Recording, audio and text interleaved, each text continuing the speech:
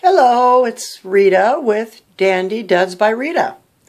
And today I am going to show you about a really cool find that works perfectly in my sewing room. We were driving to the store, and on the way to the store, we passed several churches, and next to one of the churches was two of these little stands, and it said free on them. So I asked my husband to pull in there and they are perfect. They had sliding um, pegboard doors, which I took off, and I put one on top of the other because I had just exactly enough space to set one on top of the other since they're 54 inches long. So this is providing me with a ton of storage. The one on top I already had. I used to have it um, tacked up on the wall really, really high up, but now it's perfect right there on top.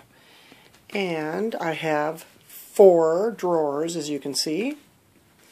And one, two, three, four, five, six shelf spaces. I took the dividers off of the lower shelves. And I'll show you what I did with it. I'm really excited to have this. It's so handy. In here, I have all my Velcro. It looks kind of messy, but I do have it arranged according to color, sort of as much as you can with Velcro. Oops, put that back in there.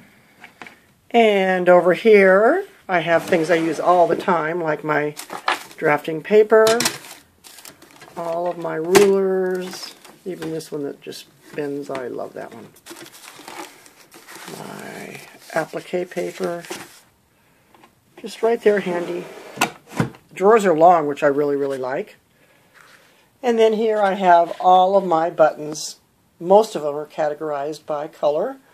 As you can see, I have a few there that I need to put away. And over on this section, I have all of my felt. I have my polyester felt here, which I don't use as much, mostly for ideas. This is my wool felt. And then on the next shelf, I have poster board. Oh, there's a pink string. Never mind that. And right there is just for my, my de-stressor coloring books and crayons and all that. Over on this shelf, I have all my books for little kids. And then on this shelf, or in this drawer, we have patterns that I have either downloaded or created and that I need to cut out. I don't know how long. They'll probably be there until I decide to make whatever those are. But it's a good place to keep them. And then in this drawer I have zippers. Oh my gosh, we've got zippers. Those are not the separating zippers, those are just the other zippers. Nice and handy though. Down here I have patterns for dolls and girls and dolls and babies and purses and aprons and all that. And over here I have all my books. Oh yeah, I could spend a whole day just talking to you about my books, but I won't. I won't bore you with that right now. Okay, so there it is. My wonderful ample storage made out of real wood. It's not pressboard and it was the best price ever. It was free. Okay, thanks for watching. I'll see you later. Bye.